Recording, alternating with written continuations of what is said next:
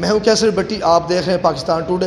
आज पाकिस्तान और इंडिया के दरमियान मैच खेला जा रहा है और ये बड़ा टाकरा है, एशिया कप का ये दूसरा बड़ा टाकरा है। पाकिस्तान और इंडिया का बहुत बड़ा मैच हो रहा है इस वक्त।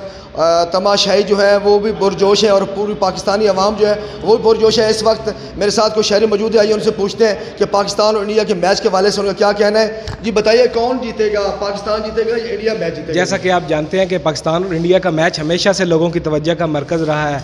बदकिस्मती के साथ पहला मैच बारिश की नज़र हो गया और आज हम बिल्कुल पुरुद हैं कि पाकिस्तान ये मैच जीतेगा और पाकिस्तानी बैट्समैन और बॉलर अच्छी परफॉर्मेंस का मुजाहरा करेंगे। क्या समझते बाबर आज़म ने टॉस विन किया और उन्होंने इंडिया की दावत दी बैटिंग करने की। तो क्या कहते हैं कि उनका फैसला अच्छा था या नहीं?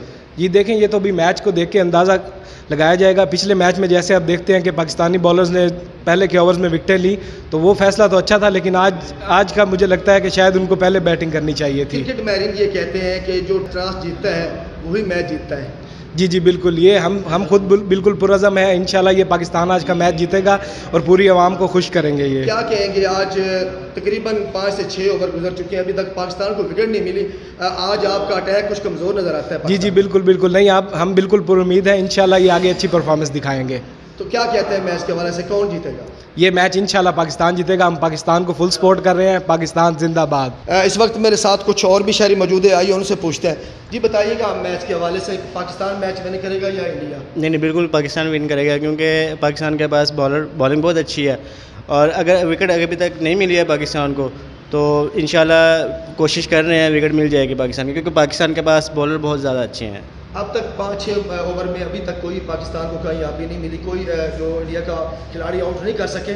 तो क्या बड़ा स्कोर करने जा रही है? क्या करेंगे? नहीं बड़ा स्कोर तो पाकिस्तान बॉलर नहीं करने देंगे क्योंकि पाकिस्तान के पास पेसर पेसर है वो हारिस राउफ है। वो इन उनको विकेट जल्दी उनके गिरा देगा। और अगर इंडिया की टीम जो है वो 300 प्लस स्कोर कर जाती है तो क्या कहते हैं? शैकिन का कहना है कि महरीन का कहना है कि पाकिस्तान 300 स्कोर बड़ी मुश्किल से चेज़ करता है। नहीं पाकिस्तान मुश्किल से चेज़ तो नहीं करता है। थोड़ी सी है इनमें बैटिंग लाइन जो है है ना थोड़ी सी है इनमें वो कर जाते हैं कभी कभी मगर इस बार इंशाल्लाह वो कर देंगे विन ज़रूर करेंगे क्या पाकिस्तान। कहते हैं कि पाकिस्तान जीतेगा या इंडिया? पाकिस्तान जीतेगा इन इंशाल्लाह पाकिस्तान ही जीतेगा। हमारे पास बहुत से बेस्ट मैन है। बाबर आज़म है फ़खर जमान है। इनशाला वो जितना मर्ज़ी स्कोर बना ले हम चेज़ कर लेंगे इनशाला चेज़ कर टफ कंडीशन है थोड़ी पाकिस्तान के लिए लेकिन हमारे पास काफ़ी अच्छे बैट्समैन हैं। बाबर आज़म भी है ठीक है फ़खर जमान भी है ऐसी कोई बात नहीं है। इनशाला पाकिस्तान ही जीतेगा इनशाला कॉन्फिडेंस है। शहरों का यही कहना है कि इन पाकिस्तान मैच विन करेगा। इंडिया 300 स्कोर भी कर जाएगा तो पाकिस्तानी बैट्समैनों को इतनी हिम्मत है कि वो इस टारगेट को चेज़ कर सकेंगे और पाकिस्तान ही मैच विन करेगा।